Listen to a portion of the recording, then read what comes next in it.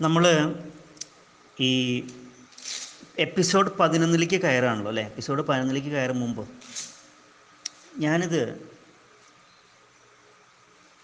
അവിചാരിതമായിട്ട് prepare ചെയ്ത് ചെയ്യേണ്ടി വന്നിട്ടുള്ളൊരു എപ്പിസോഡാണ്.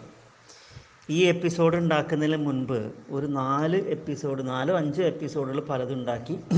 പക്ഷേ ഈ ഒരു എപ്പിസോഡ് അതായത് ഗട്ട് മൈക്രോബയോ അതായത് നമ്മുടെ മനുഷ്യ ശരീരത്തിലുള്ള ഗട്ട് എന്ന് പറയില്ല നമ്മുടെ ദഹന പ്രക്രിയ. അതും മണ്ണിന്റെ ചെടികളുടെ ഗട്ട് ചെടികളുടെ ഗട്ട് എന്ന് പറയുമ്പോൾ ദഹന വ്യവസ്ഥ എന്ന് പറയുമ്പോൾ മണ്ണാണ്. മണ്ണിലത്തെ സൂക്ഷ്മജീവാണു ലോകം. അത് രണ്ടും. അത് രണ്ടും സെപ്പറേറ്റ് ആയിട്ട് ഇങ്ങനെ ഇങ്ങനെ ഓരോന്നും ചെയ്ത് ചെയ്ത് പോയപ്പോൾ ഈ ഞാൻ അവസാനം ഗട്ടിലേക്ക് എത്തി. നാല് പ്രൊജ യൂട്യൂബ് ഓൾറെഡി അതിന്റെ സ്ലൈഡ്സ് എല്ലാം ഉണ്ടാക്കി വെച്ചിരിക്കുകയാണ്. അപ്പോൾ ഈ എപ്പിസോഡ് സത്യം പറഞ്ഞാൽ നമ്മളെല്ലാവരും നമ്മുടെ പിതാക്കന്മാർക്കോ അല്ലെങ്കിൽ ഗുരുക്കന്മാർക്കൊക്കെ സമർപ്പിക്കാറ് ഞാൻ തന്നെ മകൾക്കാണ് സമർപ്പിക്കുക ഉണ്ണിമായയ്ക്ക്. ഉണ്ണിമായ ന്യൂറോ ഗവേഷണം നടത്തിക്കൊണ്ടിരിക്കുകയാണ്. അപ്പോൾ അവൾക്ക് പറഞ്ഞു കൊടുക്കാൻ ഞങ്ങൾ അവൾ എപ്പോഴും ഏത് സമയത്തും പഠി പഠനത്തിലും റിസർച്ചിലും അല്ലെങ്കിൽ യൂണിവേഴ്സിറ്റിയിലും ഒക്കെ ആയിട്ടുള്ള ഫുൾ ടൈം അവിടെ തന്നെയാണ്. ഒരു പുസ്തകപ്പുഴു എന്നൊക്കെ പറയും എന്ന പോലെ. അപ്പോൾ അവൾക്ക് വേണ്ടിയാണ് ഇത് ചെയ്യുന്നത്. പ്ലസ് രണ്ടാമതൊരു കാര്യം കൂടി ഉള്ളതെന്ന് വെച്ചാൽ ഇതിന്റെ ആദ്യത്തെ സ്ലൈഡ് കാണുമ്പോൾ തന്നെ നമുക്കറിയാം മനുഷ്യന്റെ മനുഷ്യൻ സഞ്ചരിച്ച മനുഷ്യന്റെ എവല്യൂഷണറി സയൻസിൽ സംഭവിച്ചിട്ടുള്ള മാറ്റങ്ങൾ ഏതെല്ലാം പ്രദേശങ്ങളിലേക്ക് അങ്ങനെയെല്ലാം മാറി മാറി സ്പ്രെഡായി പോയി എന്നുള്ളത്. അതിന്റെ ഒരു രൂപരേഖകൾ ഞാനിവിടെ കൊടുത്തിരിക്കുകയാണ്. മൊത്തത്തിൽ പറഞ്ഞാൽ ഇതിന്റെ ഒരു എന്റെ മകളെ അറിയിക്കാനുള്ളൊരു സംവിധാനം കൂടിയിട്ടാണ്. ചെടികളുടെ ഗട്ട് എന്ന് പറയുന്നത് മണ്ണാണ്. ഇവിടെ എല്ലാം ഈ രണ്ട് സ്ഥലത്തും. മനുഷ്യന്റെ ഗട്ടിലായാലും ദഹന വ്യവസ്ഥയിലായാലും ചെടികളുടെ ദഹന വ്യവസ്ഥ എന്ന് പറയുന്ന മണ്ണ്. ചെടികൾക്ക് ഉള്ളിൽ ദഹന വ്യവസ്ഥയില്ല റൈസോഫജി സൈക്കിളിൽ ചെറിയൊരു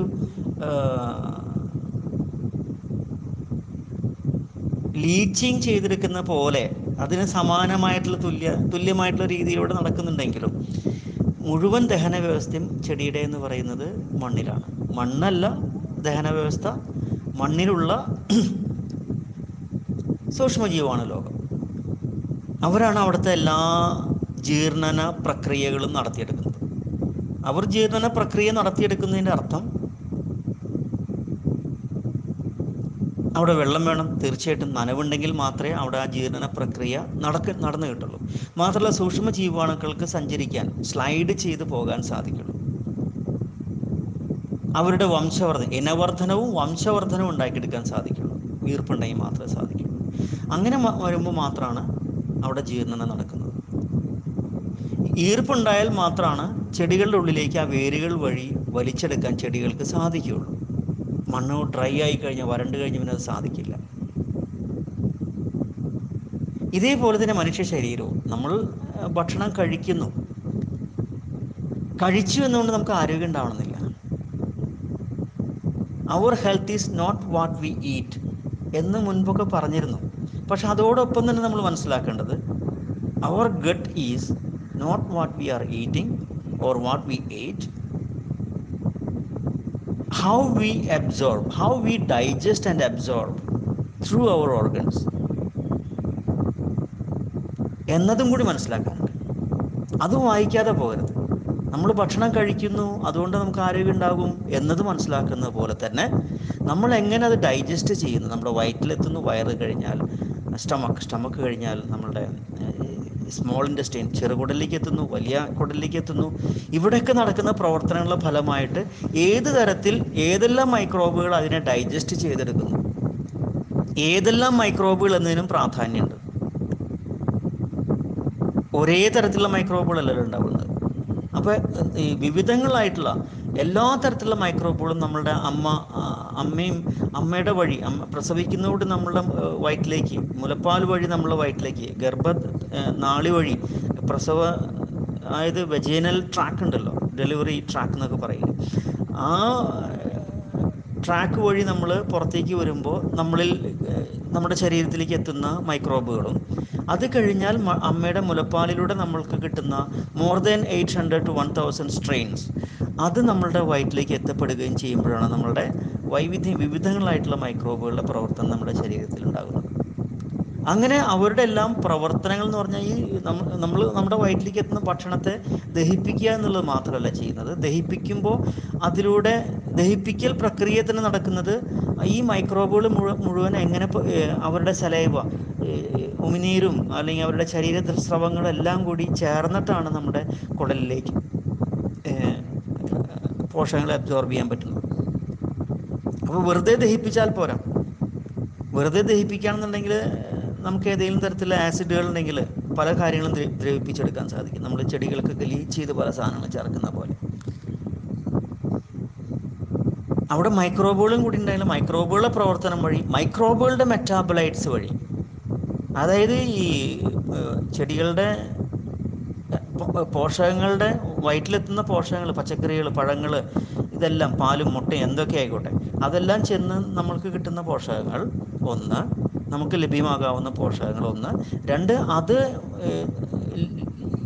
ഡൈജസ്റ്റ് ചെയ്തെടുക്കുന്ന സമയത്ത് മറ്റ് മൈക്രോബുകൾ ചെയ്ത് മൈക്രോബുകളുടെ പ്രവർത്തനം കൂടിയാവുമ്പോൾ മൈക്രോബുകളുടെ മെറ്റാബലൈറ്റ്സ് അവ അവരുടെ ഉമിനീരും അവരുടെ ശരീരത്തിൽ നിന്ന് പുറപ്പെടുന്ന വസ്തുക്കളും വേറെ തരത്തിലുള്ള പല ആമിനോ ആസിഡ്സുകളും പലതരത്തിലുള്ള എൻസൈമുകളും നമ്മുടെ ശരീരത്തിലേക്ക് എത്തപ്പെടുകയാണ് ചെയ്യുന്നത്.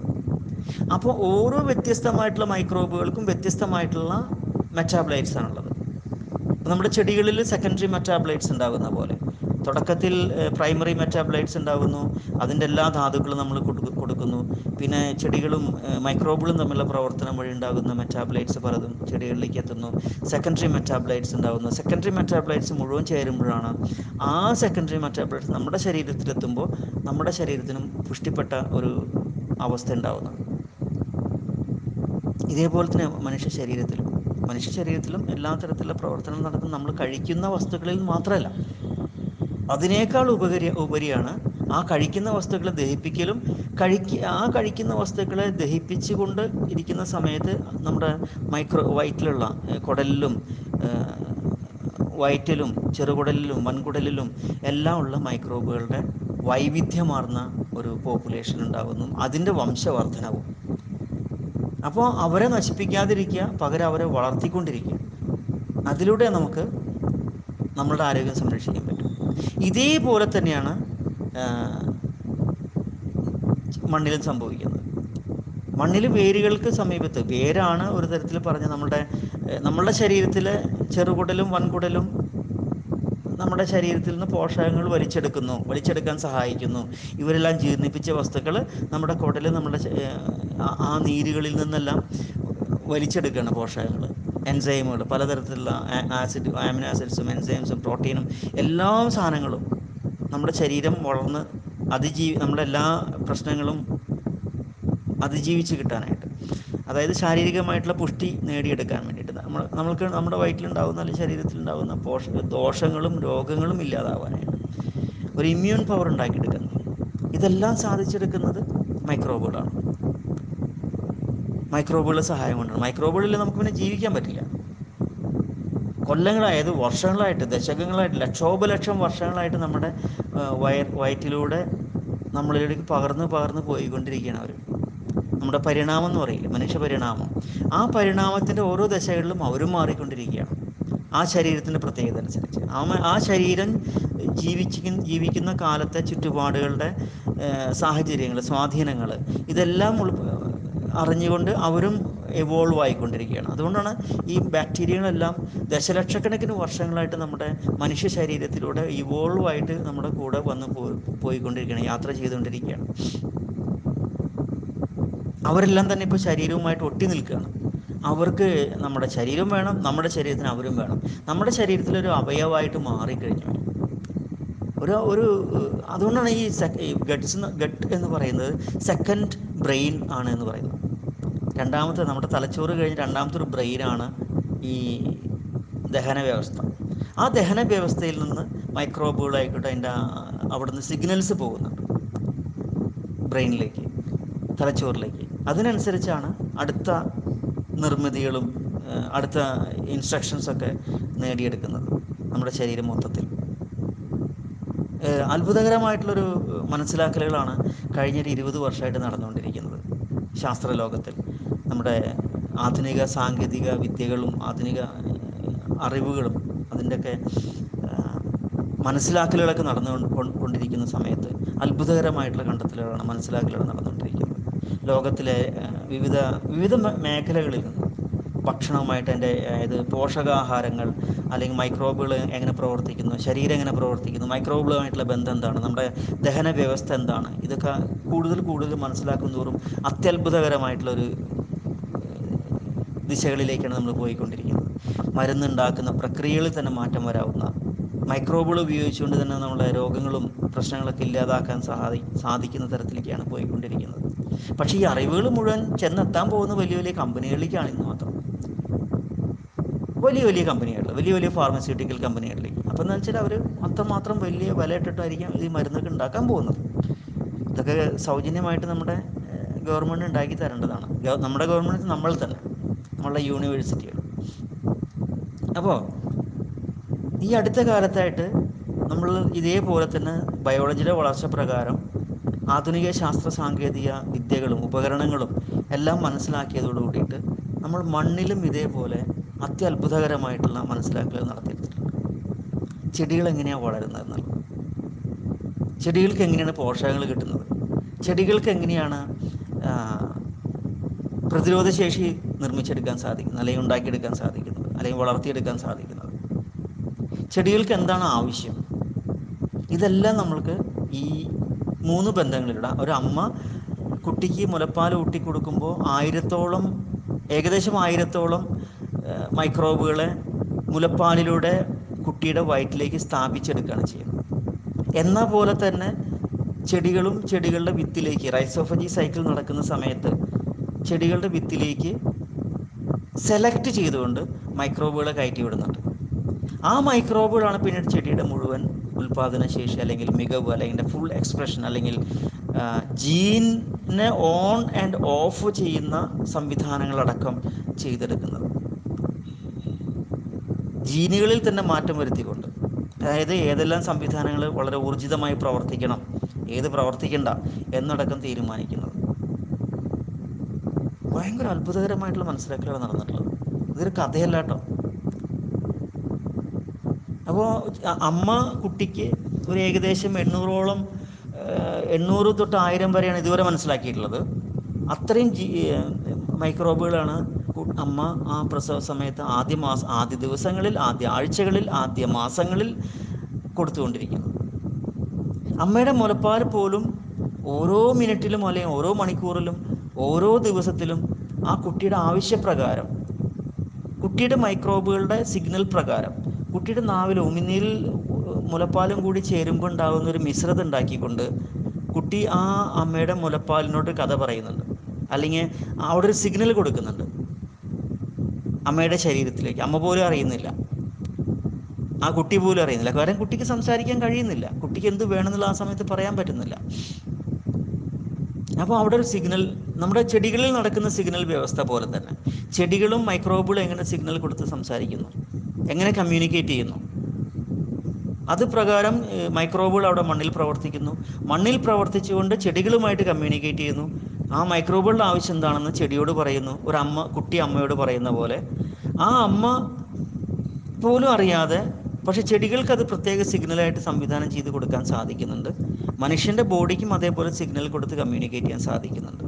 മനു- മനുഷ്യ ശരീരത്തിനുള്ളിൽ ഉള്ളിലുള്ള മൈക്രോബുകളും മനുഷ്യ ശരീരത്തിനുള്ളിൽ ഉള്ളിലുള്ള ന്യൂറോൺ ആ, കമ്മ്യൂണിക്കേഷൻ ശൃംഖലയുടെ മികവ് വഴിയും അവിടെയുള്ള മൈക്രോബുകളായിട്ട് പ്രവർത്തിക്കാൻ സംവദിക്കാൻ സാധിക്കുന്നുണ്ട് അതിനനുസരിച്ച് പ്രവർത്തിക്കുന്നുണ്ട്.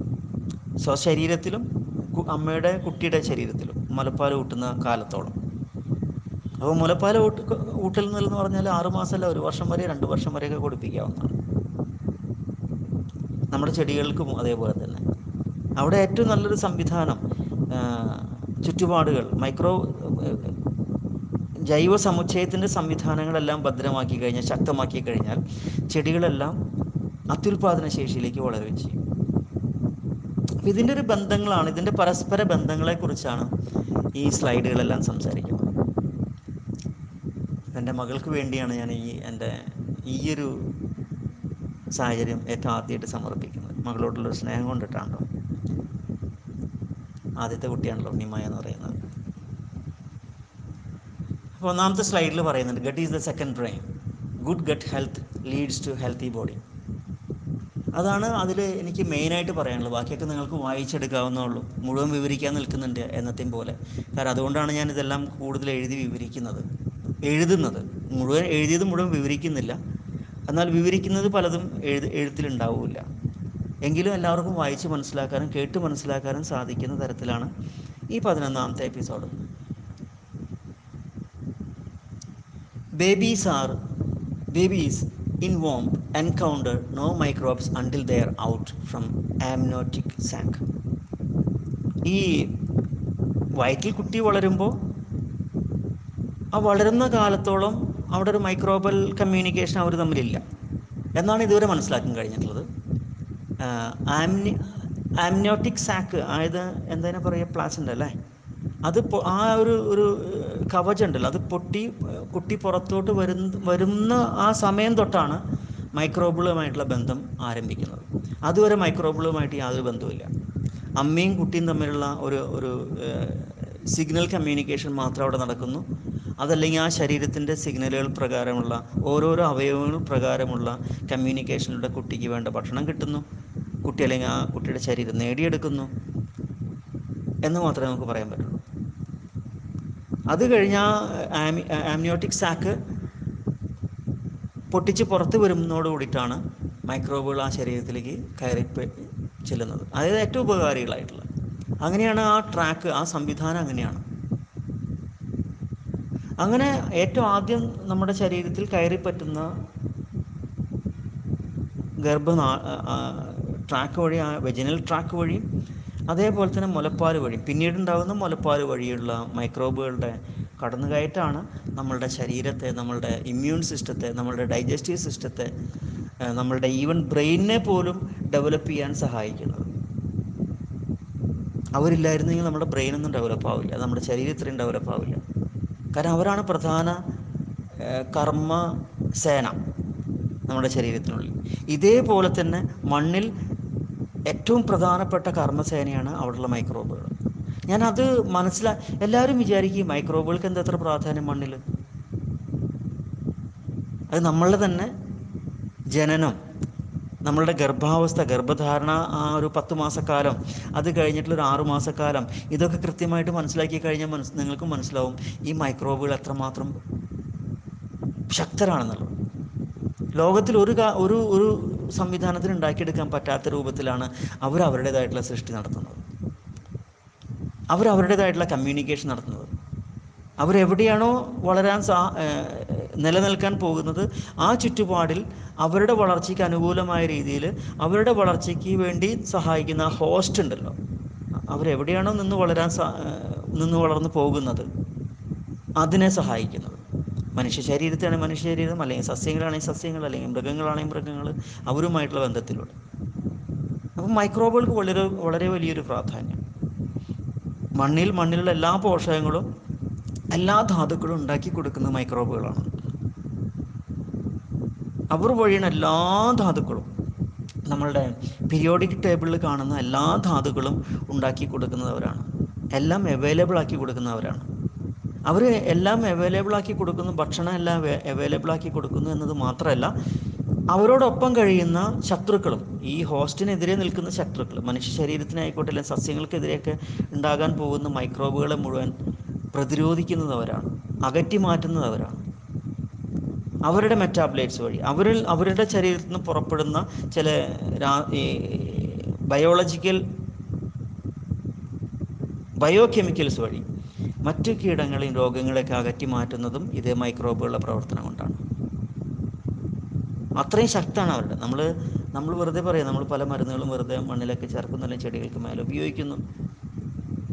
അങ്ങനെയൊക്കെ. അതൊക്കെ വലിയ കാര്യമില്ല. അതിനേക്കാൾ ശക്തരാണ് നമ്മുടെ മൈക്രോബുകൾ ചെടികളിൽ ചെടികളുടെ മേലെ പൂവിലും തണ്ടിലും കായലും വിത്തിലും വേരുകളിൽ എല്ലായിടത്തും മൈക്രോബുകളുടെ പ്രവർത്തനം നടക്കുന്നുണ്ട്. അപ്പോൾ ഈ ഒരു സംവിധാനം ഏറ്റവും ശക്തമാക്കുന്നത് വരെ നമ്മൾ ചിലപ്പോൾ ചില പോഷകങ്ങളോ ചില വളർച്ചാ തുരകങ്ങളോ മണ്ണിനെ പ്രത്യേക രീതിയിലേക്ക് അവസ്ഥയിലേക്ക് ഉണ്ടാക്കി നിർമ്മിച്ചെടുക്കുന്ന രീതികളിൽ നമ്മൾ കുറച്ച് പ്രാധാന്യം നൽകേണ്ടതുണ്ട്. കുറച്ച് ശ്രദ്ധ വേണമെന്ന് മാത്രം. അപ്പോൾ നമ്മളുടെ ഗട്ട് എങ്ങനെ പ്രവർത്തിക്കുന്നു? അതേപോലെ തന്നെയാണ് ചെടി ചെടി നിലനിൽക്കുന്ന മണ്ണിൽ മൈക്രോബുകൾ പ്രവർത്തിക്കുന്നത് നമ്മുടെ ഗട്ടിലും അത് തന്നെയാണ്. മൈക്രോബുകളാണ് പ്രവർത്തിക്കുന്നത്. നമ്മുടെ ശരീരത്തിൽ മൊത്തം തൊലിക്കും തൊലിയിലും കണ്ണിലും കാതിലും മൂക്കിലും എല്ലായിടത്തും നമ്മൾ ഒരു ശതമാനം ഉണ്ടാവുള്ളൂ. നമ്മളുടെ അങ്ങനെ നോക്കുകയാണെങ്കിൽ നമ്മളുടെ ശരീരത്തിലെ സെല്ലുകൾ എന്ന് പറഞ്ഞാൽ ഒരു ശതമാനം ഉണ്ടാവുള്ളൂ. ബാക്കി തൊണ്ണൂറ്റൊമ്പത് ശതമാനം മൈക്രോബുകളാണ് മൈക്രോബുകളാണ് അടക്കി വാഴുന്നത്. നമ്മൾ ഒറ്റയ്ക്കല്ല. തൊണ്ണൂറ്റൊമ്പത് ശതമാനം മൈക്രോബുകളാണ് നമ്മളൊരു ശതമാനമേ ഉള്ളൂ. നമ്മുടെ ശരീരത്തിൽ അവരാണ് നമ്മളുടെ ശരീരത്തിന്റെ സംരക്ഷണം ഏറ്റെടുത്തിട്ടുള്ള security guards X category Z കാറ്റഗറിയിലുള്ള guards എന്ന് പറയില്ല? എന്ന പോലെ. സെഡ് കാറ്റഗറിയിൽ ഗാർഡുകൾ തോക്കും പിടിച്ച് മാത്രമേ നിൽക്കുന്നുള്ളൂ അല്ലേ? ഇവിടെ അവരങ്ങനെയല്ല ചെയ്യുന്നത്. അവർ പട്ടാളക്കാരാണെങ്കിലും എല്ലാ നിർമ്മാണങ്ങളും നടത്തിയെടുക്കുന്നവരാണ്. നമ്മുടെ നാട്ടിലെ പട്ടാളക്കാർ അങ്ങനെ എല്ലാ നിർമ്മാണം നടത്തിയെടുക്കില്ല. തോക്ക് പിടിച്ച് നിൽക്കാമെന്ന് മാത്രമേ ഉള്ളൂ. വെടിയിച്ച് എന്ന് മാത്രമേ ഉള്ളൂ. വേറൊരു പണിക്ക് നിൽക്കില്ല അവർ അതേസമയം ഈ മണ്ണിലും ഗട്ടിലുമുള്ള പട്ടാളക്കാർ ഈ കർമ്മസേന അവരെല്ലാ സംരക്ഷണം ഏറ്റെടുക്കുകയാണ് ഭക്ഷണം ഉണ്ടാക്കുന്ന കാര്യത്തിലും എല്ലാ സിസ്റ്റങ്ങളും അവിടെ അവിടെ ഹോട്ടലും റെസ്റ്റോറന്റും ഈവൻ പബ് ഒക്കെ ഉണ്ടാക്കി അവരെടുക്കുകയാണ് അപ്പോൾ ആവശ്യമുള്ള എല്ലാ ഭക്ഷണവും അവിടെ കിട്ടുകയാണ് ചെയ്യുന്നത്. അത് മണ്ണിലും അങ്ങനെ തന്നെ. എല്ലാത്തരം സംവിധാനങ്ങളും എല്ലാ ലോകത്തില്ലാത്ത സംവിധാനങ്ങളും അവിടെ ഇല്ല. ഹോട്ടലും റെസ്റ്റോറന്റും സെവൻ സ്റ്റാറും ത്രീ സ്റ്റാറും ഫൈവ് സ്റ്റാറും തട്ടുകടയും കള്ള് ഷാപ്പും എല്ലാം ഉണ്ട് സ്കൂളും കോളേജും യൂണിവേഴ്സിറ്റി എല്ലാം ഉണ്ട് അവിടെ.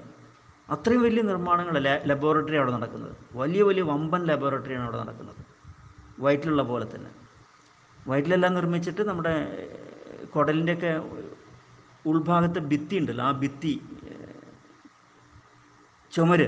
ആ ചുമരിലേക്കാണ് അത് മുട്ടി നിൽക്കുന്നത് അതിലൂടെ വലിച്ചെടുക്കുന്നു. നമ്മൾ കുളത്തിൽ നിന്നൊക്കെ ഈ മോട്ടർ വെച്ച് പമ്പ് ചെയ്ത് വെള്ളം പുറത്തേക്ക് എടുക്കുന്ന പോലെ എന്ന പോലെ അവിടെ നിന്ന് പോഷകങ്ങളെല്ലാം വലിച്ച് അവിടുത്തെ അവിടെ അതിനെ ഫിൽട്ടർ ചെയ്യാനുള്ള സംവിധാനങ്ങളുണ്ട്. അത് വലിച്ചെടുത്ത് നമ്മുടെ ശരീരത്തിലേക്ക് ചേർത്ത് വെക്കുകയാണ് ചെയ്യുന്നത് രക്തത്തിലേക്ക് പിന്നെ പമ്പ് ചെയ്യുകയാണ് ചെയ്യുന്നത്. അത് പിന്നെ ലിവറിൽ പോയിട്ട് വീണ്ടും ഫിൽട്ടർ ചെയ്ത് ആവശ്യമില്ലാത്ത ചില വസ്തുക്കളൊക്കെ എടുത്ത് മാറ്റി കിഡ്നി അല്ല ഇതെല്ലാം നമ്മുടെ ഫിൽട്ടർ സംവിധാനങ്ങളാണ്.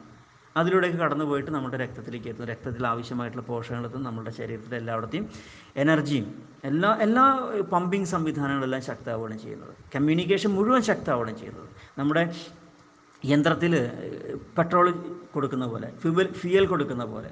ആ ഫ്യൂയൽ കഴിഞ്ഞ് കഴിഞ്ഞാൽ മെഷീൻ നിന്നു. ഫ്യൂയൽ കൊടുക്കുന്നവരെ എല്ലാ സംഗതികളും ഭംഗിയായിട്ട് നടക്കും. അല്ല? ഒരു സ്പോർട്സ് കാറിന്റെ അല്ലെങ്കിൽ നമ്മൾ ഈ ഈ ഇവിടേക്കൊക്കെ പോയിട്ടുള്ള ചന്ദ്രനിലേക്കൊക്കെ പോയിട്ടുള്ള വാഹനങ്ങളുടെ ഫ്യൂൽ സംവിധാനം ആലോചിച്ച് നോക്കൂ. ആ രീതിയിലുള്ള സംവിധാനം ഫ്യൂൽ സംവിധാനമാണ് നമ്മുടെ വയറ്റിൽ അല്ലെങ്കിൽ മണ്ണിൽ നിന്ന് ചെടികൾക്ക് കിട്ടുന്നത് നമ്മുടെ വയറ്റിൽ നിന്ന് നമ്മുടെ ശരീരത്തിന് കിട്ടുന്നത്. ഇതൊരു സുപ്രഭാതം കൊണ്ട് ഉണ്ടാക്കി വന്നിട്ടുള്ളതല്ല. ഇത്രയും ശക്തമായിട്ടുള്ള ഫ്യൂൽ സംവിധാനങ്ങളെല്ലാം വർഷങ്ങളോളമുള്ള ദശലക്ഷങ്ങളായി വർഷങ്ങൾ നമ്മുടെ ശരീരത്തിന്റെ പരിണാമ ചക്രത്തിലൂടെ ഉരുത്തിരിഞ്ഞു വന്നിട്ടുള്ളതാണ്. ആ മികവുകൾ സാവധാനം സാവധാനം സാവധാനം കൈമാ കയ്യേറി കയ്യേറി അല്ലെങ്കിൽ മികവിലേക്ക് മാറി മാറി മാറി മാറി ഏറ്റവും അതിശക്തമായിട്ടുള്ള ഒരു ഏറ്റവും സങ്കീർണവും ശക്തവുമായിട്ടുള്ള ഒരു സിസ്റ്റത്തിലേക്ക് നമ്മുടെ ശരീരം മാറിയത്. നമ്മുടെ ശരീരം മാത്രമല്ല ലോകത്തിലെ എല്ലാ ഭൂമിയിലുള്ള എല്ലാ ശരീരങ്ങളും മാറിയത്. മാറിക്കൊണ്ടിരിക്കുകയാണ്. അങ്ങനെ മാറി മാറി മാറി മാറി വന്നതാണ്. ഒരു സുപ്രഭാതം കൊണ്ട് ഉണ്ടായിട്ടുള്ളതല്ല. അങ്ങനെ ഉരുത്തിരിഞ്ഞു അത് കൃഷിക്കാരോട് പറഞ്ഞാൽ പെട്ടെന്ന് മനസ്സിലാവും. കൃഷിക്കാർക്ക് അറിയാം. അതുകൊണ്ടാണ് ഈ വിഷയം അവതരിപ്പിക്കുന്നത്. അപ്പോൾ നമ്മളുടെ ഗട്ടിലുണ്ടാകുന്ന പ്രവർത്തനം അതേപോലെ തന്നെയാണ് മണ്ണിൽ നടക്കുന്നതാണ് പറയുന്നത്. പറഞ്ഞ് ഞാൻ ഞാൻ പറയാൻ ശ്രമിക്കുന്നത്. അല്ലെങ്കിൽ നിങ്ങൾ നിങ്ങൾ പഠിക്കേണ്ട ഒരു വിഷയം. ഇതേപോലെ തന്നെ നമ്മളുടെ ഈ അടുത്ത കാലത്തായിട്ട് ഭക്ഷണം കഴിക്കുന്ന സമയത്തെക്കുറിച്ച് ഒരു ധാരണ ഉണ്ടായിട്ടുണ്ട് കാലത്ത് ആറ് മണി തൊട്ട് വൈകുന്നേരം ഏഴ് മണിയുള്ള സമയത്താണ് നമ്മൾ ഭക്ഷണം കഴിക്കേണ്ടത്. അത് കഴിഞ്ഞിട്ടുള്ള സമയം നല്ലതാണെന്ന് വെച്ചാൽ നല്ലതല്ലായികയല്ല പക്ഷേ ഏറ്റവും ബെറ്റർ ഏറ്റവും ബെസ്റ്റ് ടൈം ഏതാണെന്ന് വെച്ചാൽ കാലത്ത് ആറ് മണി മുതൽ വൈകുന്നേരം ഏഴ് മണി വരെ. അത് ഈ ഈ അടുത്ത കാലത്ത് സിക്കാഡിയൻ റിത്തം എന്ന് പറഞ്ഞാൽ അത് സിക്കാഡിയൻ സൈക്കിൾ നമ്മൾ ഈ nitrogen cycle potassium cycle phosphorus cycle എന്നൊക്കെ പറയുന്നില്ലേ? അതേപോലെ തന്നെ. നമ്മൾ ഞാൻ ഇതിന് മുമ്പും പറഞ്ഞിരുന്നു. അതായത് ഒരു ചെടിയുടെ ഇരുപത്തിനാല് മണിക്കൂർ twenty four hours photosynthetic period അതെങ്ങനെ ചെടികൾ ഉപയോഗിക്കുന്നു? എങ്ങനെ അത് ആ ചെടിയിൽ മാറ്റങ്ങൾ ഉണ്ടാകുന്നു അല്ലെങ്കിൽ എന്തൊക്കെയാണ് ചെയ്യുന്നത്? എന്നതിനെക്കുറിച്ച് ഒരു ധാരണ നമുക്ക് കിട്ടിയിട്ടുണ്ട്. കൃത്യമായിട്ടുള്ളൊരു ധാരണ കിട്ടിയിട്ടുണ്ട്. ഇതേപോലെ തന്നെ ഒരു സർക്കാഡിയൻ സൈക്കിൾ എന്ന് പറയുന്നു നമ്മുടെ ശരീരം എങ്ങനെ പ്രവർത്തിക്കുന്നു? രാത്രിയിലും പകലും നമ്മുടെ ശരീരം എങ്ങനെ പ്രവർത്തിക്കുന്നു? കാലത്തും ഉച്ചയ്ക്കും വൈകുന്നേരം നമ്മുടെ ശരീരം എങ്ങനെ പ്രവർത്തിക്കുന്നു? ഇതിനൊരു ഒരു സൈക്കിൾ ഉണ്ട്. ഒരു ഒരു ഋദ്ധുണ്ട് ആ ഋദ്ധ അനുസരിച്ചാണ് ആ ശരീരം പ്രവർത്തിക്കുന്നത്. അപ്പോൾ ആ റിത്തനുസരിച്ച് നമ്മുടെ ശരീരത്തിനെ പ്രവർത്തിപ്പിക്കാൻ ഏറ്റവും ഉതകുന്ന സമയത്ത് നമ്മൾ ഉതകുന്ന രീതികൾ അവലംബിക്കുക എന്നുള്ളതാണ് ശരി. അങ്ങനെ വരുമ്പോൾ നമ്മുടെ ശരീരത്തിന് മെച്ചപ്പെടാം. ശരീരത്തിന് മെച്ചപ്പെട്ട ഗുണങ്ങളിലേക്ക് എത്തിച്ചേരാം.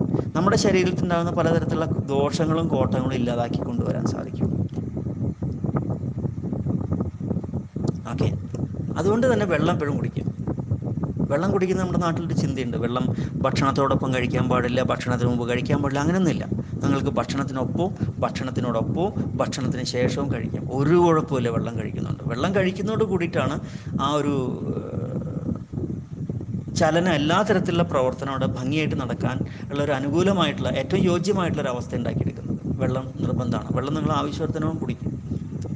നമ്മൾ കഞ്ഞി കഴിച്ചിരുന്നില്ലേ? കഞ്ഞി കഴിക്കുമ്പോൾ വെള്ളം കുടിച്ചിരുന്നു പണ്ട് കാലത്തൊക്കെ മുൻകാലങ്ങളിലൊക്കെ കഞ്ഞി കഴിക്കുമ്പോൾ ആരെങ്കിലും തെറ്റ് പറയും. വെള്ളം കഴിക്കരുതെന്ന് പറയാറുണ്ടോ? ഇല്ല.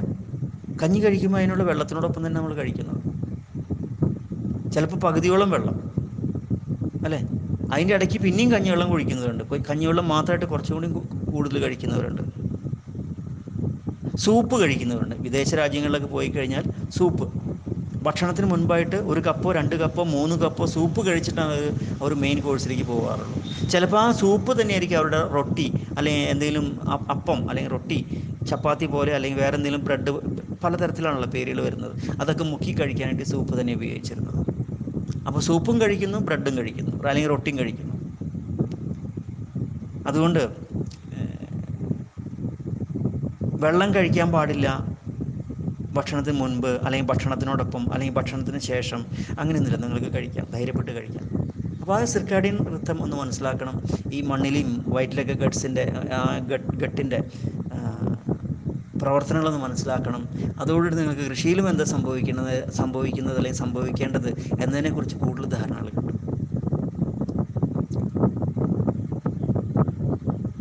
പിന്നെ അതിൽ പ്രത്യേകിച്ച് പറയാനുള്ളത്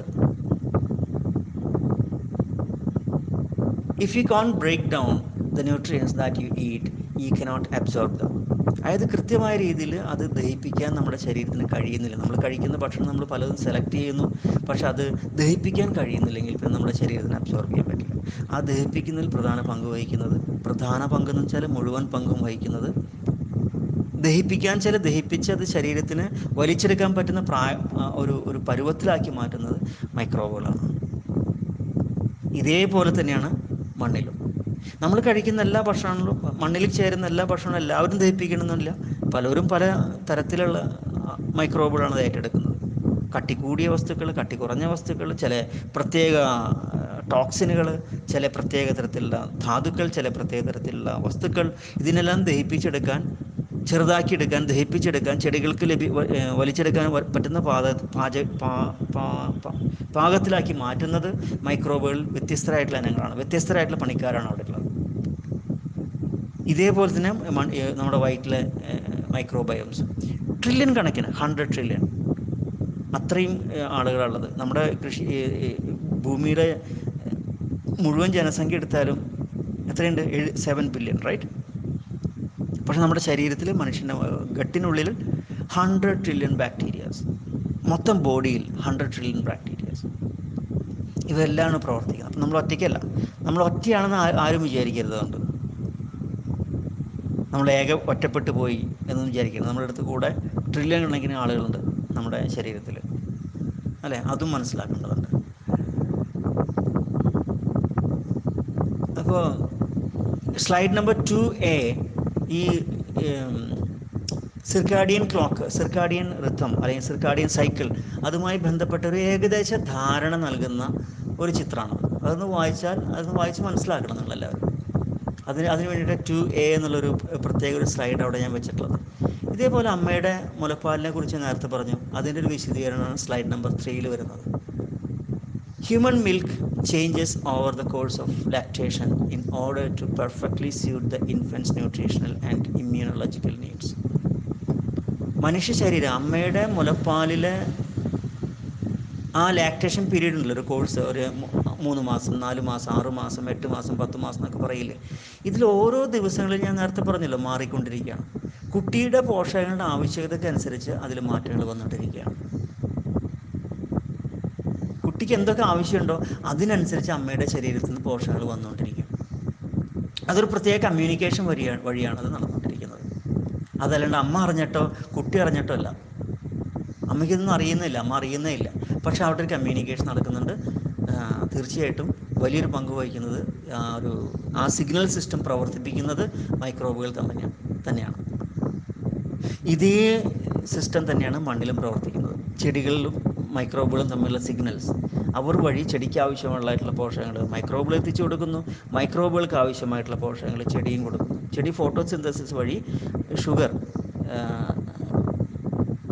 ചെടികൾ ഈ എക്സുഡേഷൻ വഴി മൈക്രോബുകൾക്ക് എത്തിച്ചു കൊടുക്കുന്നില്ലേ? എന്ന പോലെ തന്നെ അമ്മ കുട്ടിക്ക് എത്തിച്ചു കൊടുക്കുന്നു. കുട്ടി അത് മനസ്സിലാക്കിക്കൊണ്ട് ഇനി ഇനി എനിക്ക് എന്തൊക്കെ ആവശ്യമുള്ളതനുസരിച്ചുള്ള ഒരു കമ്മ്യൂണിക്കേഷൻ നടക്കുന്നുണ്ട്. അതിനനുസരിച്ച് അതുകൊണ്ടാണ് ഈ ലാക്ടേഷൻ ആ സമയത്ത് ആ പീരീഡ് അനുസരിച്ച് മാറിക്കൊണ്ടിരിക്കുന്നത്. ഓരോ മണിക്കൂറിലും ഓരോ ദിവസത്തിലും ഓരോ ആഴ്ചയിലും മാറിക്കൊണ്ടിരിക്കുന്നു. അതിനനുസരിച്ച് മുലപ്പാലിൽ മാറ്റങ്ങൾ ഉണ്ടായിരിക്കും. എന്ന പോലെ തന്നെ ചെടിയുടെ വളർച്ചയ്ക്കും ഹരിത വളർച്ചാ ഘട്ടത്തിലും ചെറിയ പ്രായത്തിൽ ഹരിത വളർച്ചാ ഘട്ട ഘട്ടത്തിൽ പുഷ്പിക്കുന്ന ഘട്ടത്തിൽ അത് റീപ്രൊഡക്റ്റീവ് സ്റ്റേജിലേക്ക് എത്തുമ്പോൾ ചെടിക്ക് ആവശ്യമായിട്ടുള്ള പോഷകങ്ങളുടെ അളവിലും വ്യത്യാസം വരും. ചെറിയ തരത്തിൽ ആ സമയത്ത് കരം കൂടുതൽ അംഗങ്ങളായി. മാങ്ങിയും വിത്തും ഒക്കെ ആയിട്ട് വരുമല്ലേ പൂക്കളാവുന്നു കായകളുണ്ടാകുന്നു വിത്തുണ്ടാകുന്നു അപ്പോൾ അതിനനുസരിച്ച് അത്രയും പോഷകങ്ങൾ ചെടിക്ക് ആവശ്യമുണ്ട്.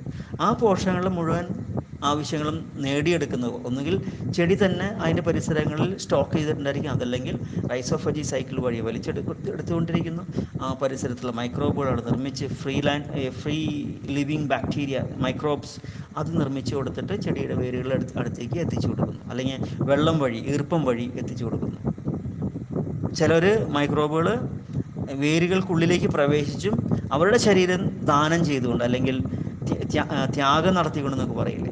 അവരുടെ ശരീരത്തിൽ നിന്ന് സൂപ്പർ ഓക്സൈഡ് ചെടികൾ ചെടികൾ സൂപ്പർ ഓക്സൈഡ് പ്രവഹിപ്പിച്ചുകൊണ്ട് ശരീരത്തെ ദ്രവിപ്പിച്ചെടുത്ത് അത് വലിച്ചെടുക്കുന്നു. ബാക്ടീരിയകളെ സംബന്ധിച്ചിടത്തോളം ശരീരം ദ്രവിപ്പിച്ചെടുത്താലും അവർക്ക് വീണ്ടും ജീവിക്കാൻ സാധിക്കും. അവരിങ്ങനെ സ്പ്ലിറ്റായി സ്പ്ലിറ്റായി പോയിക്കൊണ്ടിരിക്കുകയല്ലേ? പിന്നെ ആ ഭിത്തി അവരുണ്ടാക്കിയെടുക്കുകയാണ് ചെയ്യുക. പിളർന്ന് പിളർന്ന് പിളർന്ന് പിളർന്ന് വന്നുകൊണ്ടിരിക്കുകയാണ് അവർ അവർ എന്നിട്ട് വേരുകളുടെ പുറത്തേക്ക് ചാടി വീണ്ടും ആവശ്യമായിട്ടുള്ള എല്ലാ പോഷകങ്ങളും വലിച്ചെടുത്ത് ശരീരം നിർമ്മിച്ച് വീണ്ടും വേരുകൾക്കുള്ളിലേക്ക് പോകുന്നു. ഇതാണ് ഒരു ഒരു ചെടികളുടെ വളർച്ചയെ സംബന്ധിച്ച് മനസ്സിലാക്കേണ്ടത്. ഇതെല്ലാം ഞാൻ റൈസോഫജി സൈക്കിൾ വിവരിച്ചതാണ്. പക്ഷേ ഈ ഗട്ടും മനുഷ്യന്റെ ദഹന പ്രക്രിയയും ചെടികളുടെ ദഹന പ്രക്രിയയും അതേപോലെ തന്നെ ഒരു അമ്മയും കുഞ്ഞും തമ്മിലുള്ള ബന്ധം മുലയൂട്ടുന്ന സമയത്തെ ബന്ധം ഇതിനൊരു ഒരു കണക്ട് ചെയ്തുകൊണ്ട് നമ്മൾ വായിക്കാൻ ശ്രമിക്കുകയാണ് ചെയ്യുന്നത്. കാരണം എന്ന് വെച്ചാൽ ആ മൊത്തം ജീവജാലങ്ങളുടെയും മനുഷ്യന്റെ ശരീരത്തിൽ എങ്ങനെ എന്താണ് നടക്കുന്നത് എങ്ങനെയാണ് നടക്കുന്നത് പോഷകങ്ങളൊക്കെ എങ്ങനെയാണ് ലഭ്യമാക്കേണ്ടത് എന്നതിനെ സംബന്ധിച്ചൊരു ധാരണ കിട്ടാൻ വേണ്ടിയിട്ട്. അതോടുകൂടി ഈ അനാവശ്യമായിട്ടുള്ള വസ്തുക്കളെ ചേർക്കലൊക്കെ നിർത്തലാക്കുകയും ചെയ്യും. മനസ്സിലാക്കിയിട്ടുള്ളവർ പിന്നെ ആ ഒരു പുഷ്ടിപ്പെടുത്തലിന് മാത്രം നിന്നാൽ മതിയല്ലോ മണം മണ്ണിലേക്ക് അല്ലേ? ഈ സ്ലൈഡ് നമ്പർ ത്രീ കഴിഞ്ഞാൽ slide number three A three B three C three B വരെ. ആ രണ്ട് സ്ലൈഡും ആ ഒരു അമ്മയും കുട്ടിയും തമ്മിലുള്ള ബന്ധത്തെ എങ്ങനെയാണ് സംഭവിക്കുന്നുള്ളതിന്റെ കുറേ റെഫറൻസുകളാണ് ഇന്ന് ലോകം മനസ്സിലാക്കിയിട്ടുള്ള ഏറ്റവും ലേറ്റസ്റ്റ് ആയിട്ടുള്ള ഇൻഫർമേഷൻസ് ആണ് അതൊക്കെ. അതൊക്കെ നിങ്ങൾക്ക് കൂടുതൽ വായിക്കാൻ വേണ്ടിയിട്ട് മനസ്സിലാക്കാൻ വേണ്ടി ചെയ്തതാണ്. ഇതൊരു കഥയല്ല എന്ന് പറയാൻ വേണ്ടിയിട്ട്. ഇത് വലിയൊരു പരീക്ഷണമുള്ള മനസ്സിലാക്കലുടെ പുറത്താണ് ഈ സംസാരിക്കുന്നത്. മൈക്രോബുകളുടെ പ്രവർത്തനം എത്രമാത്രം ശക്തമാണെന്നുള്ളത്. അതേപോലെ തന്നെ സ്ലൈഡ് നമ്പർ ഫോറിലെത്തുമ്പോൾ പ്രത്യേകിച്ച് എനിക്ക് പറയാനുള്ളത് വൈറ്റിലെ ആസിഡിറ്റി അതായത് P H scale one point five one two three എന്നും പറയാം one point five two three point five എന്നും പറയാം. ആ അസിഡിറ്റിയാണ് അവിടെ കുറേയൊക്കെ ഏറ്റവും ആദ്യം നമ്മൾ ഭക്ഷണം കഴിച്ച ഏറ്റവും ആദ്യം എത്തുന്നത് വയറ്റിലേക്കാണല്ലോ അവിടുത്തെ അസിഡിറ്റിയാണ് കുറേയൊക്കെ ഭക്ഷണത്തിനെ ഉടച്ച് എടുക്കാൻ സഹായിക്കുന്നത്. വയറും ഉടച്ചെടുക്കുന്നുണ്ട് ഭക്ഷണങ്ങൾ അതിന്റെ മസിൽ പവർ കൊണ്ട്. പിന്നെ അത് കഴിഞ്ഞ് പിന്നെ ബാക്ടീരിയയുടെ പ്രവർത്തനത്തിന് വിട്ടുകൊടുക്കുകയാണ് ചെയ്യുന്നത്. വീണ്ടും കൂടുതൽ ദ്രവിപ്പിച്ച് ദഹിപ്പിച്ച് നമ്മുടെ കുടൽ വഴി കുടലുകൾ വഴി ശരീരത്തിലേക്ക് ചെല്ലാനായിട്ട്. അപ്പോൾ നമ്മുടെ പി എച്ച് എന്താണെന്ന് നോക്കിക്കഴിഞ്ഞാൽ one point five two three point five അത്രയേ ഉള്ളൂ. അത്രയും താഴെ നിൽക്കുകയാണ്. അത് കഴിഞ്ഞിട്ടാണ് അതുകൊണ്ട് തന്നെ എന്താണ്? പുറത്തുനിന്ന് വരുന്ന പല ഉപദ്രവകാരികളായിട്ടുള്ള മൈക്രോബുകൾക്ക് പോലും വയറ്റിലെത്തി കഴിഞ്ഞാൽ അവിടെ ജീവിക്കാൻ സാധിക്കില്ല. കാരണം ഈ അസിഡിറ്റി ഉണ്ട് അപ്പോൾ ഒന്നാമത്തെ ഫിൽട്ടർ ഫിൽട്ടർ ഏരിയ എന്നും പറയാം. ഒരു പ്രതിരോധ സംവിധാനം അവിടുന്ന് കഴിഞ്ഞിട്ട് ഏറ്റവും ഉപകാരികൾക്ക് മാത്രമേ അതിന് അവിടുന്ന് ഉള്ളിലേക്ക് പോകാൻ സാധിക്കുള്ളൂ. ഏറ്റവും ആദ്യത്തെ അറകളിൽ നിന്ന്. ഇപ്പോൾ നമ്മൾ ചില കൊള്ള സംഘക്കാരുടെ അറകൾ കാണില്ല എന്ന പോലെ. അപ്പോൾ about hundred trillion bacteria both good and bad live inside your digestive system അവിടെയുണ്ട്. തെറ്റായിട്ടുള്ള ഒരു തെമ്മാടികളൊക്കെ ഉണ്ട്. പക്ഷെ ആര് കൂടുതൽ ഏറ്റവും വേഗത്തിൽ വളരുന്നു? അതിനനുസരിച്ച് നമ്മുടെ ശരീരത്തിൽ മാറ്റങ്ങൾ വരുന്നു. ഉപകാരികളായിട്ടുള്ളവർ വളരുമ്പോൾ നമ്മുടെ ശരീരത്തിന് ഏറ്റവും നല്ല പോഷകങ്ങൾ ലഭിക്കുന്നു. ഉപദ്രവകാരികൾ കൂടുതൽ വളരുന്നുണ്ടെങ്കിൽ അവിടെ ഈ ഉപകാരികൾ ഉണ്ടാക്കിയിട്ടുള്ള പോഷകങ്ങൾ മുഴുവൻ അവരും വലിച്ചെടുക്കും. അവർ ശരീരത്തിന് ഉപദ്രവം ഉണ്ടാക്കുകയും ചെയ്യും. നമ്മുടെ കോശഭിത്തികളിലെല്ലാം തന്നെ ഇന്റെ ഈ ചെറുകുടലിന് വൻകുടലിന് ഭിത്തികളിൽ അവർ നിറയുമ്പോൾ പിന്നെ ഉപകാരികളായിട്ടുള്ളവർക്ക് സ്ഥലം ഉണ്ടാവില്ല. ഉപദ്രവകാരികളായിട്ട് സ്ഥലം ഉണ്ടാവും. അല്ലേ? അതും അത് ഒന്നുകൂടി മനസ്സിലാക്കാനായിട്ട് നിങ്ങൾക്ക് സ്ലൈഡ് നമ്പർ ഫൈവ് അത് സഹായിക്കുന്നതായിരിക്കും most live in the large intestine അത് ഏറ്റവും കൂടുതൽ ഇപ്പോൾ ഇത്രയും ഹൺഡ്രഡ് ട്രില്യൺ ബാക്ടീരിയാസ് അല്ലെങ്കിൽ മൈക്രോബ്സ് നമ്മുടെ ശരീരത്തിൽ പ്രവർത്തിക്കുന്നുണ്ടെങ്കിൽ ഏറ്റവും കൂടുതൽ അത് നമ്മുടെ ശരീരത്തിലുള്ളത് large ഇൻഡസ്ട്രൈനിലാണ് small intestine and large intestine അത് ചെറുകുടലിലും വൻകുടലിലും. അതിൽ പക്ഷേ ഏറ്റവും കൂടുതൽ വൻകുടലിലാണ് അവർ താമസിക്കുന്നത് വസിക്കുന്നത്. അങ്ങനെ ഇതെല്ലാം എല്ലാവരും ചേർന്നിട്ടാണ് അവരുടേതായിട്ടുള്ള ഒരു പ്രതിരോധ സംവിധാനം. പോഷക നിർമ്മാണം പ്രതിരോധ സംവിധാനം രോഗകീടങ്ങളെ നിർമ്മാർജനം ചെയ്യുന്ന സംവിധാനമല്ല ഉണ്ടാക്കിയെടുക്കുന്നത്. അപ്പോൾ അവിടെ ആര് കൂടുതൽ വളരണം എന്നത് നമുക്ക് പ്രാധാന്യമുണ്ട് അല്ലേ മണ്ണിലത്തെ പോലെ തന്നെ മണ്ണിൽ ആര് കൂടുതൽ നന്നായിട്ട് വളരണം എന്ന പോലെ തന്നെ നമ്മുടെ ദഹന പ്രക്രിയയിലും ആര് കൂടുതൽ നന്നാവണം വളരണം. അതിന് വേണ്ടിയിട്ടുള്ള ഭക്ഷണം നമ്മൾ കഴിക്കണം. പ്രീബയോട്ടിക് ആൻഡ് പ്രോബയോട്ടിക് ഒക്കെ നിങ്ങൾ കേട്ടിട്ടുണ്ടായിരിക്കും. അതൊക്കെ ഇടയ്ക്ക് ഇടയ്ക്കിടയ്ക്ക് കഴിച്ചുകൊണ്ട് നമ്മുടെ ശാരീരിക ശാരീരിക ദഹന വ്യവസ്ഥയെ ഒന്ന് മെച്ചപ്പെടുത്തുന്നത് നന്നായിരിക്കും. പ്രീബയോട്ടിക് ആൻഡ് പ്രോബയോട്ടിക് ഞാൻ അതിനെക്കുറിച്ച് അതിനെക്കുറിച്ച് ക്ലാസ് എടുക്കുന്നില്ല. അത് നിങ്ങൾക്ക് ഇപ്പോൾ ഇന്ന് ലോകത്തിലെ ഇന്റർനെറ്റിന്റെ സംവിധാനങ്ങൾ വളരെ ശക്തമായതുകൊണ്ട് എന്താണ് പ്രീബയോട്ടിക് എന്താണ് പ്രോബയോട്ടിക് ഭക്ഷണം എന്ന് എല്ലാവർക്കും അറിയാവുന്ന കാര്യമാണ്. അപ്പോൾ ഇതേ സംവിധാനങ്ങൾ തന്നെയാണ് നമ്മൾ മണ്ണിൽ നടത്തിയെടുക്കേണ്ടതെന്ന് അർത്ഥം. ഞാൻ ആ മണ്ണിനെ റിലേറ്റ് ചെയ്യണത് എല്ലാം ഈ മനുഷ്യന്റെ ദഹന വ്യവസ്ഥ വഴി മണ്ണിൽ എന്ത് സംഭവിക്കണം? എങ്ങനെയാണ്? അത് എങ്ങനെയാണ് സിമിലാരിറ്റി ഉള്ളത്? എന്തൊക്കെയാണ് അതിന്റെ സിമിലാരിറ്റികൾ എന്നുള്ളത് ഞാൻ പറയാൻ ശ്രമിക്കുകയാണ് ഇതിലൂടെ. അല്ലെങ്കിൽ നിങ്ങൾ നിങ്ങൾക്ക് എപ്പോഴെങ്കിലും കൂടുതൽ വായിച്ച് മനസ്സിലാക്കാനുള്ള ഒരു ഒരു ഹിൻഡ് തരികയാണ്. നമ്പർ സ്ലൈഡ് നമ്പർ സിക്സിൽ പോയി കഴിഞ്ഞാലും ഇതിനെക്കുറിച്ച് പറയാനുള്ളത് the relationship between you and your gut bacteria symbiotic വളരെ സൗഹൃദമായിട്ടുള്ള സിംബയോട്ടിക് ബന്ധത്തിലാണ് നിൽക്കുന്നത്. And both you and the bacteria benefit നമ്മുടെ നമ്മൾ നമുക്ക് നമ്മുടെ ശരീരത്തിന് മെച്ചപ്പെടാൻ സഹായിക്കുന്നു ബാക്ടീരിയകൾക്ക് നന്നാവാൻ സാധിക്കുന്നു. അവരുടെ നിലനിൽപ്പും സാധിച്ചു കൊടുക്കുന്നു. അവരുടെ നിലനിൽപ്പുണ്ടെങ്കിൽ മാത്രം നമ്മുടെ ദഹന വ്യവസ്ഥ നന്നാവുള്ളൂ. അതുകൊണ്ട് നമ്മൾ രണ്ടുപേരും ഈ മൈക്രോബയോം ആൻഡ് വി നമ്മൾ ഒരു ഏറ്റവും സൗഹൃദപരമായിട്ടുള്ള ഒരു ബന്ധത്തിലൂടെയാണ് പോയിക്കൊണ്ടിരിക്കുന്നത്. ഇനിയും പോ ഇനിയും പോകാൻ പോകുന്നതും.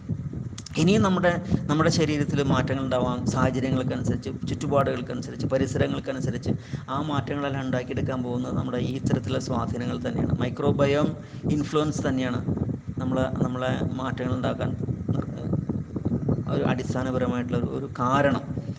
തീർച്ചയായിട്ടും നമ്മുടെ ജീവിത സാഹചര്യങ്ങളും അതിനനുസരിച്ചുള്ള മാറ്റങ്ങൾ നമ്മുടെ ശരീരത്തിൽ ഉണ്ടാക്കിയെടുക്കാം. നമ്മുടെ ഈവൻ നമ്മുടെ സ്ട്രെസ്സ് നമ്മുടെ മാനസികമായിട്ടുള്ള പ്രശ്നങ്ങളടക്കം ഈ ബാക്ടീരിയയുടെ ഇൻഫ്ലുവൻസ് കൊണ്ട് ഉണ്ടാകുന്നതാണ് ഇപ്പോൾ ഇപ്പോൾ പുതിയ നിഗമനങ്ങളും പഠനങ്ങളും അതിനനുസരിച്ചുള്ള പല ന്യൂറോ സയൻസിൽ പല പ്രയോഗങ്ങളും നിർമ്മിച്ചെടുക്കാൻ പോകുന്നത് നമ്മുടെ സയൻസ് നിർമ്മിച്ചെടുക്കാൻ പോകുന്നത്. ഈ സ്വാധീനങ്ങൾ എങ്ങനെയാണെന്നുള്ള മനസ്സിലാക്കിയത് കൊണ്ടാണ്. അപ്പോൾ ന്യൂറോ സയൻസിലും ഇതിന് വളരെയേറെ പ്രാധാന്യമുണ്ട് നമ്മുടെ ഗട്ട് മൈക്രോബയോം അതിന്റെ ഒരു സ്ലൈഡാണ് നമ്പർ സെവനിൽ സ്ലൈഡ് നമ്പർ സെവനിൽ സെവനിൽ കാണിക്കുന്നത്. If the bad bacteria grow faster than the good bacteria the bad bacteria will take all the space on the wall of your gut similar to our modern economy and their sectarian political system നമ്മുടെ political സിസ്റ്റത്തിലും അതുപോലെ നടക്കുന്നുണ്ടല്ലേ? നമ്മൾക്കൊക്കെ നമ്മൾ നമ്മളൊന്നും ജീവിക്കാൻ അനുവദിക്കാതാക്കുന്ന കാരണം എല്ലാ സ്പേസും നമ്മളുടെ ആവശ്യതകളും ലഭ്യതകളും നമ്മളുടെ എല്ലാ സ്പേസും കവർന്നെടുക്കുകയാണ് ചെയ്യുന്നത്. നമ്മുടെ ഇന്നത്തെ political system production system economical system ഇതെല്ലാം നമ്മൾ നമ്മൾ ഈ ബഹുഭൂരിപക്ഷം വരുന്ന നമ്മൾ ഒന്നുമല്ല. നമ്മൾക്കൊരു ലഭ്യതയോ സൗകര്യങ്ങളോ നമ്മൾക്ക് ജീവിക്കാനുള്ള നമ്മളെ ആഗ്രഹങ്ങളൊന്നും വെച്ച് പുലർ പുലർത്തിരുന്ന കാര്യമില്ലെന്ന് എന്ന് പറയുന്ന പോലെ നമ്മുടെ സിസ്റ്റം പൊളിറ്റിക്കൽ സിസ്റ്റം നടക്കുന്നത്. എക്കോണമിക്കൽ സിസ്റ്റം നടക്കുന്നത്. അവരെല്ലാ ഏരിയയും കവർന്നെടുത്ത് കഴിഞ്ഞു. എന്ന പോലെ ബാഡ് ബാക്ടീരിയാസ് നമ്മളുടെ മണ്ണിലായാലും വയറ്റിലായാലും അവർ കവർന്നെടുക്കുകയാണ് ചെയ്യുന്നത്. അപ്പോൾ അവരെ വളരാൻ അനുവദിക്കാതിരിക്കുക. എങ്കിൽ മാത്രമേ ആ ശരീരത്തിന് വളരാൻ സാധിക്കുള്ളൂ. രോഗങ്ങളും കീടങ്ങളും ഇല്ലാതാക്കി നല്ല നല്ല ശക്തമായിട്ടുള്ള ഒരു കമ്മ്യൂണിറ്റിനെ ഉണ്ടാക്കിയെടുക്കാൻ സാധിക്കുള്ളൂ.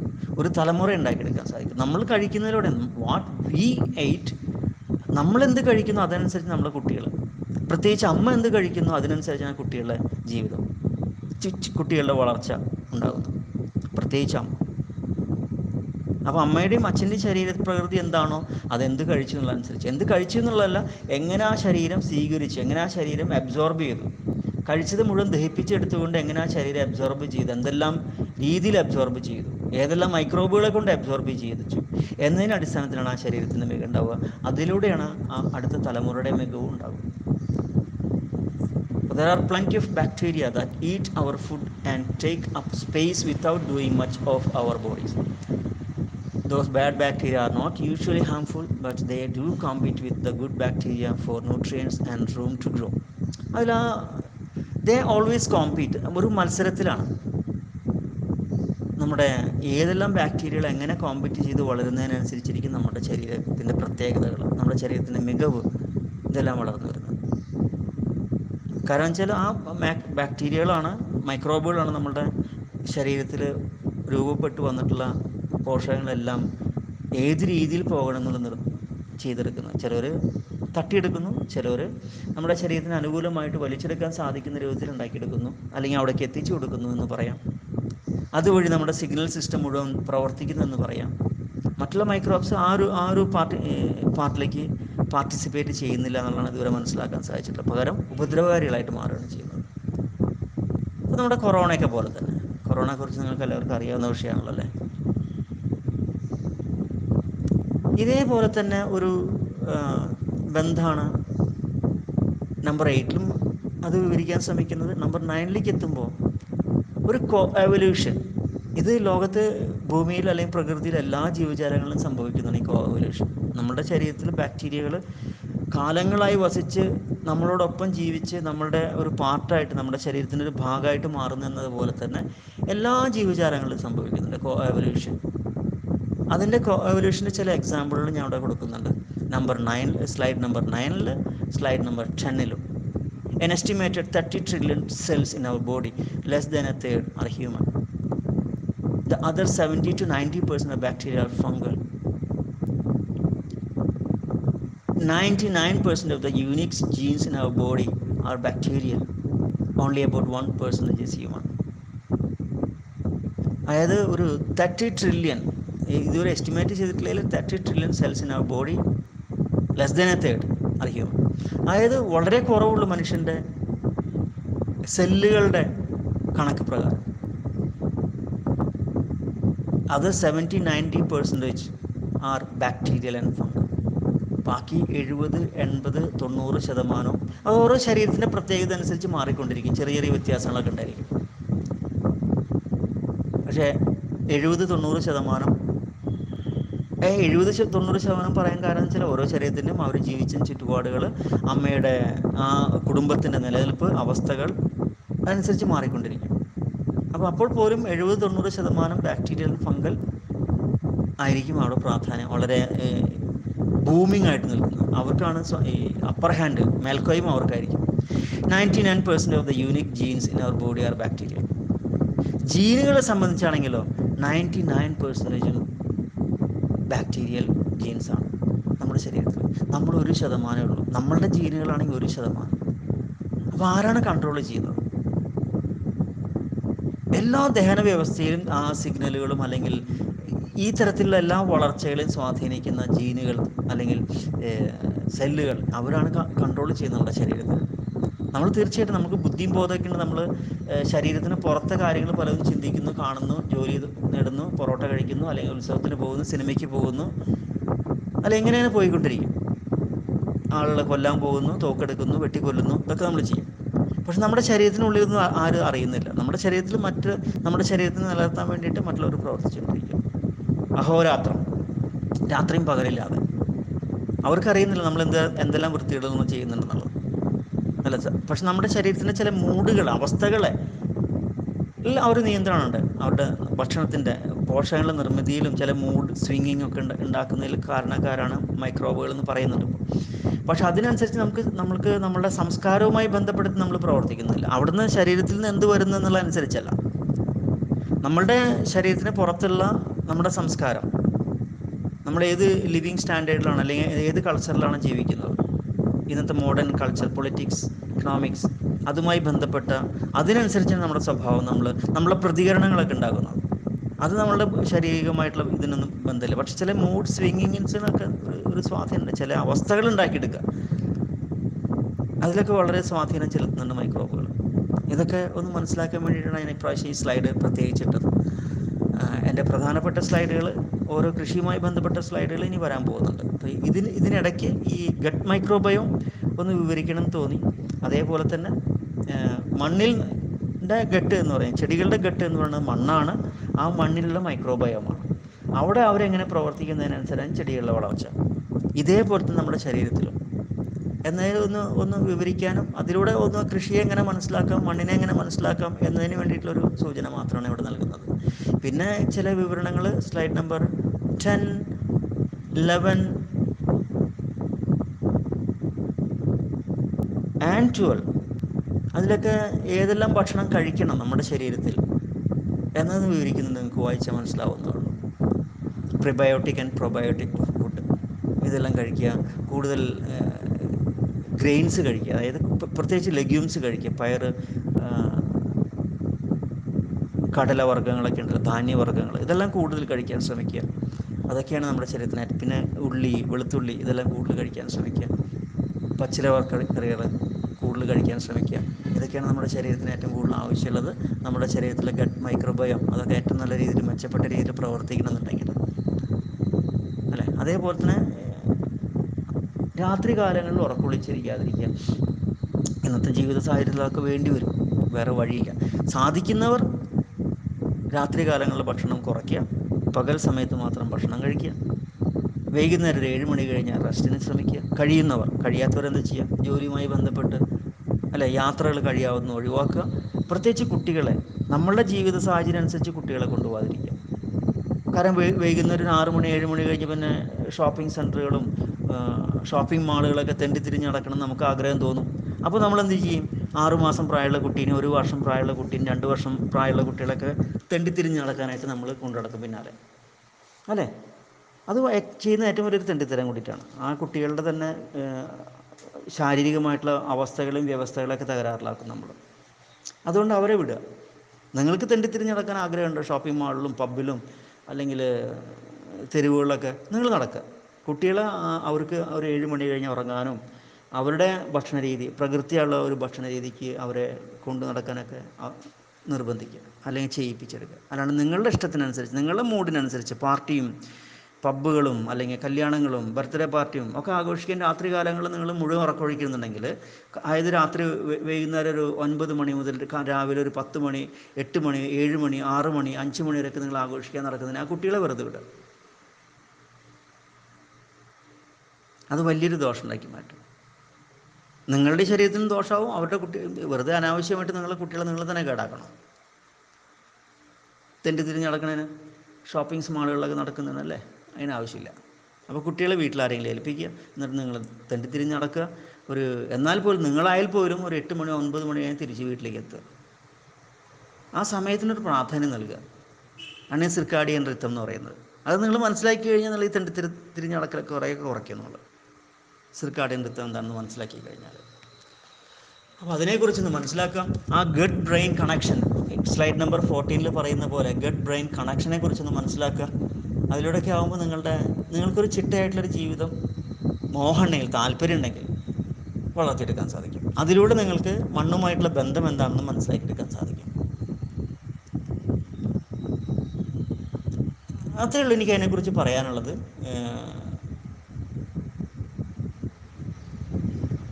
നമ്മൾ ഈ ഓരോ സ്ലൈഡുകൾ ഉണ്ടാക്കി പോകുന്നതിനിടയ്ക്ക്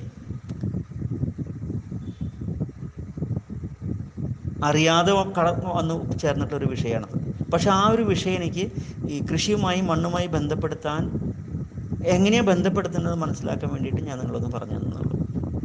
അല്ലെങ്കിൽ എങ്ങനെ ബന്ധപ്പെടുത്തി നമുക്ക് കൂടുതൽ മനസ്സിലാക്കാൻ സാധിക്കും മണ്ണിന്റെ പ്രത്യേകതകളെക്കുറിച്ച്. അതിനെക്കുറിച്ച് വിവരിച്ചു മാത്രം. താങ്ക് യു വെരി മച്ച് ഇതുവരെ കേട്ടില്ല അപ്പോൾ ഇതൊന്ന് വളരെ ശ്രദ്ധയോടുകൂടി നിങ്ങൾ വായിക്കാനും പഠിക്കാനും കൂടുതൽ മനസ്സിലാക്കാനുള്ള ഒരു പ്രയത്നത്തിൽ ഏർപ്പെടാനും കൂടി ഞാൻ നിങ്ങളെ ക്ഷണിക്കുകയാണ് okay thank you very much ഇതേപോലെ തന്നെ നമ്മളെങ്ങനെ ലോകത്തുള്ള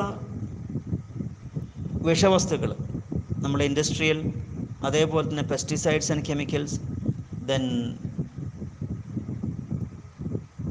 കളനാശിനികൾ ഹെർബിസൈഡ്സ് ഇതെല്ലാം നമ്മളുടെ ശരീരത്തിനെ എങ്ങനെ ബാധിക്കും എന്നുള്ളത് വളരെ വലിയൊരു വിഷയമായിട്ട് മാറിക്കഴിഞ്ഞിട്ടുണ്ട്. നമ്മുടെ ശരീരത്തിന് എത്രമാത്രം അത് ദഹിപ്പിക്കുന്നുണ്ട് നമ്മുടെ ശരീരം ജീവിച്ച് ജീവനോടെ കൊല്ലുക എന്ന് പറയില്ലേ ആ രൂപത്തിലേക്ക് ആക്കി മാറ്റുന്ന ചില പ്രത്യേകതകളൊക്കെ ഒന്നുണ്ട് അതും കൂടി മനസ്സിലാക്കുന്ന നല്ലതാണ്. Slide number എയ്റ്റീനിൽ linkage between plant rhizosphere and animal gut environment interaction effects of pesticides with their microbiomes ഇത് വലിയൊരു പ്രശ്നമാക്കി മാറ്റിക്കൊണ്ടിരിക്കുകയാണ്. വലിയൊരു പ്രശ്നമായി മാറിക്കൊണ്ടിരിക്കുകയാണ്. ശരീരം അത്രമാത്രം കേടുപാടുകൾക്ക് കേടുപാടുകൾ സംഭവിച്ചുകൊണ്ടിരിക്കുകയാണ്.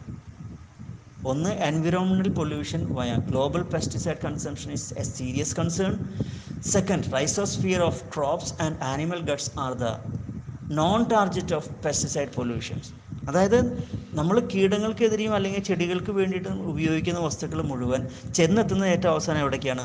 മണ്ണിലേക്കും മൃഗങ്ങളുടെയും നമ്മുടെ മനുഷ്യരുടെയും വയറ്റിലേക്കാണ് ചെന്നെത്തുന്നത്. വെള്ളം വഴിയും ഭക്ഷണം വഴിയും. There exist commonalities among microbiomes and rhizosphere and human gut. ഇതെല്ലാം ബന്ധപ്പെട്ട് നിൽക്കുകയാണ്.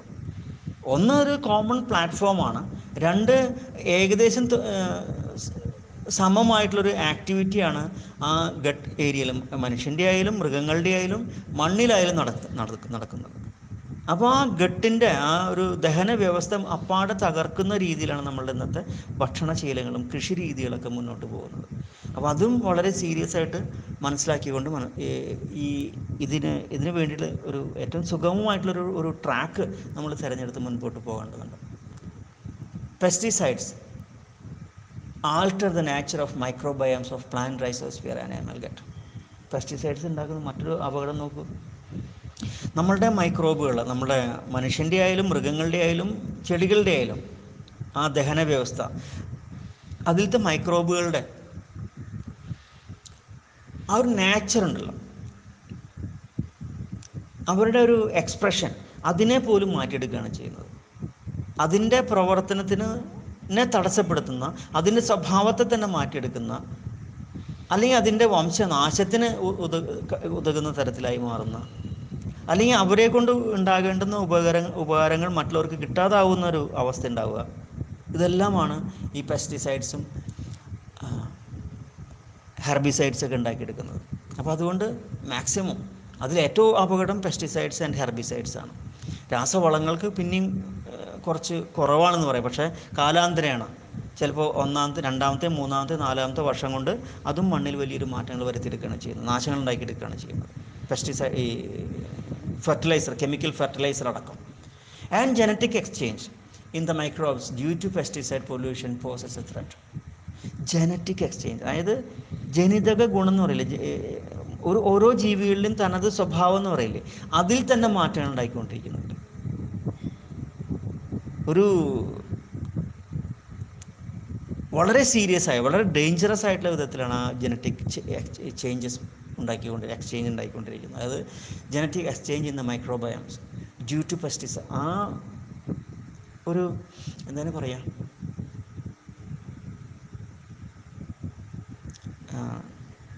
ഈ രാസവളങ്ങൾ രാസ രാസവസ്തുക്കൾ അല്ലെങ്കിൽ ഹെർബിസൈഡ്സ് ആൻഡ് പെസ്റ്റിസൈഡ്സ് അത് വരുത്തുന്ന മാറ്റങ്ങൾ മൈക്രോബയോമിൽ വരുന്ന മാറ്റങ്ങൾ അതും വലിയൊരു സീരിയസ് ത്രട്ടനായിക്കൊണ്ടിരിക്കുക കാരണം നമ്മുടെ ശരീരത്തിന്റെ മേന്മകൾ ഉണ്ടാവണമെന്നുണ്ടെങ്കിൽ നമ്മുടെ ശരീരത്തിന്റെ ഫുൾ എക്സ്പ്രഷൻ വളരെ നല്ല രീതിയിൽ ഉണ്ടായിട്ടുണ്ടെന്നുണ്ടെങ്കിൽ മൈക്രോബുകളുടെ സഹായം വളരെ ആവശ്യമാണ്.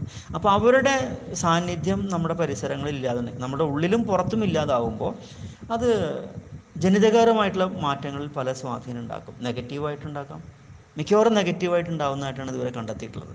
ഇത് ഇതുവരെ സംഭവിച്ചുകൊണ്ടിരിക്കുന്നത്.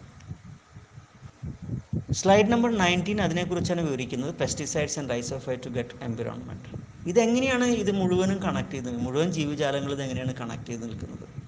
Plant food then animal guts then soil ഇങ്ങനെ ഒരു സർക്കിൾ പോലെ ഇത് എങ്ങനെയാണ് മൂവ് ചെയ്യുന്നത്? ഇതെല്ലാം പരസ്പരം സഹായിച്ചും കണ്ടും കൊണ്ടും കേട്ടും അറിഞ്ഞും പരസ്പരം സഹായിച്ചൊക്കെ നിൽക്കുന്ന ഒരു ഒരു ജൈവ സമുച്ചയമാണ് മൊത്തത്തിൽ ഈ പ്രകൃതി അല്ലെങ്കിൽ മനുഷ്യൻ മൃഗങ്ങളെല്ലാം എന്ന് പറയുന്നത്. കാരണം എല്ലാവരുടെയും അടിസ്ഥാനപരമായിട്ടുള്ള ആവശ്യം ഭക്ഷണമാണല്ലോ. ഭക്ഷണം തേടിയിട്ടാണല്ലോ ഇവർ ഈ ഈ ബന്ധത്തിൽ നിൽക്കുന്നത്. ഭക്ഷണത്തിന്റെ ആവശ്യം കഴിഞ്ഞാൽ പിന്നെ ആ ബന്ധം അവിടെ നിൽക്കുന്നില്ല. പിന്നെ നമ്മളെ പഠിപ്പും മറ്റ് കൾച്ചറലായിട്ടുള്ള പല പല രീതികളിലേക്ക് നമ്മൾ പോയിക്കൊണ്ടിരിക്കുകയാണ്.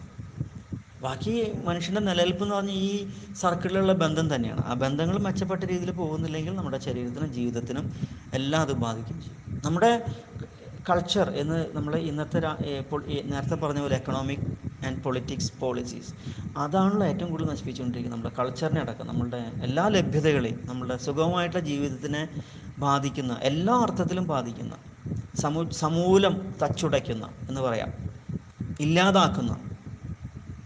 ലഭ്യത എന്നുള്ളത് ഇല്ലാതാക്കുന്ന ഒരു വ്യവസ്ഥയാണ് എക്കണോമിക് കണ്ടീഷനാണ് നമുക്കെന്നുള്ളത് അതും ശ്രദ്ധിക്കേണ്ടതുണ്ട്.